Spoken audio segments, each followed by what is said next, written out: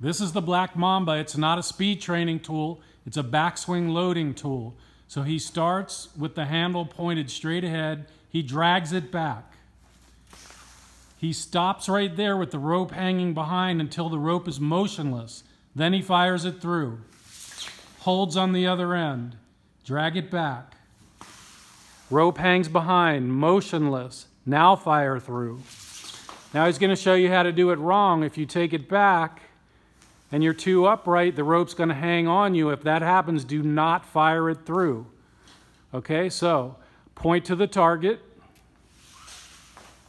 drag it back, hanging behind, motionless. Now fire it through. That's the Mamba. You want to do three sets of six. You want to wait about a full minute in between each set. Do it twice a day.